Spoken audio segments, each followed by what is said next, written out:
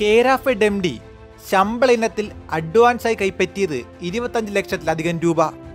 മൂന്ന് മാസത്തിനകം അഡ്വാൻസ് തിരിച്ചടയ്ക്കണമെന്ന ചട്ടം നിലവിൽ നിൽക്കെയാണ് എം ഡിയുടെ ചട്ടലംഘനം നടന്നിരിക്കുന്നത്.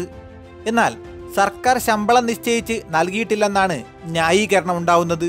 പിൻവാതിൽ നിയമനം ഉൾപ്പെടെയുള്ള വിവാദങ്ങൾ നിലനിൽക്കുകയാണ് കേരാഫെഡ് എം ഡിയുടെ സഹകരണ നിയമം ലംഘിച്ച് സ്വയം തീരുമാനിച്ച് ശമ്പളം എഴുതിയെടുക്കുന്നതിന്റെ തെളിവുകൾ പുറത്തു വരുന്നത് ഒരു ലക്ഷം രൂപയാണ് എം ഡി ശമ്പളമായി എഴുതിയെടുത്തിരിക്കുന്നത്.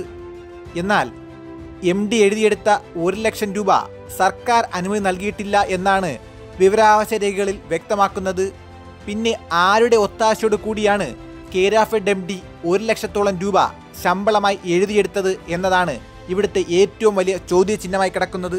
സർക്കാർ പ്രതിനിധികളില്ലാത്ത എക്സിക്യൂട്ടീവ് കമ്മിറ്റിയുടെ അംഗീകാരപ്രകാരമാണ് അഡ്വാൻസ് അനുവദിക്കുന്നതെന്ന് ശമ്പള ബില്ലിൽ വ്യക്തമാണ്. എന്നാൽ സഹകരണ നിയമപ്രകാരം മൂന്ന് മാസത്തിലധികം അഡ്വാൻസ് അനുവദിക്കാൻ പറ്റില്ല എന്നിരിക്കെ എം ഡി ഇരുപത്തഞ്ച് മാസത്തിലധികമായി പ്രതിമാസം ഒരു ലക്ഷത്തിലധികം രൂപ പ്രതിമാസ ശമ്പളമായി അഡ്വാൻസ് ഇനത്തിൽ കൈപ്പറ്റുന്നു.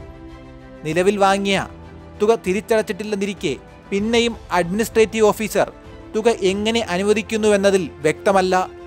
സർക്കാർ ശമ്പളം തീരുമാനിച്ച് ഉത്തരവിറക്കിയിട്ടില്ല എന്ന ന്യായം പറഞ്ഞാണ് എം ഡി ചട്ടലംഘനത്തെ ലഘൂകരിക്കുന്നത്. എന്നാൽ ഇപ്പോൾ പുറത്തു വരുന്ന മറ്റൊരു വിവരമെന്ന് പറയുന്നത് കേരാഫെഡിന്റെ എം ഡിയായി എൻ രവികുമാറിനെ കൃഷിവകുപ്പ് നിയമിച്ചത് അദ്ദേഹത്തിനെതിരായ ഒരു അന്വേഷണ റിപ്പോർട്ട് മറച്ചുവെച്ചുകൊണ്ടായിരുന്നു എന്നതാണ്. രണ്ടായിരത്തി അഞ്ചിൽ കേരാഫെഡിൽ പ്രോജക്ട് ഡയറക്ടറായിട്ടിരിക്കെ തേങ്ങാപ്പൊടി ഉൽപ്പാദന യന്ത്രം വാങ്ങി ഉപയോഗിക്കാനാകാതെ രണ്ട് പോയിന്റ് എട്ട് അഞ്ച് കോടി രൂപ നഷ്ടം വരുത്തുന്നതാണ് കണ്ടെത്തലുകൾ. രവികുമാർ ഉൾപ്പെടെയുള്ളവരിൽ നിന്ന് പലിശയടക്കം ഈ തുക ഈടാക്കണമെന്ന് റിപ്പോർട്ട് സംസ്ഥാന ധനകാര്യ പരിശോധനാ വിഭാഗം സർക്കാരിന് നൽകിയിരുന്നു.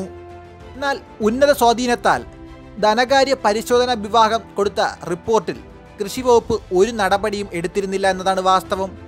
അന്വേഷണ റിപ്പോർട്ട് മറച്ചുവെച്ചാണ് രവികുമാറിനെ കേരാഫെഡ് എം ഡിയായി കൃഷി വകുപ്പ് നിയമിക്കുന്നത്. പൊതുമേഖലാ സ്ഥാപനത്തിന്റെ തലപ്പത്ത് എത്തുന്നവർ വിജിലൻസ് ക്ലിയറൻസ് വാങ്ങിയിരിക്കണമെന്നിരിക്കെ. രവികുമാറിൽ നിന്ന് സത്യപ്രസ്താവന വാങ്ങി ആ ചട്ടവും അട്ടിമറിച്ചു.